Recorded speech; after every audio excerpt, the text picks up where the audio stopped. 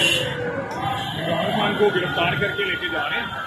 Chairman तरीके साहब इमरान खान के कर लिया गया है।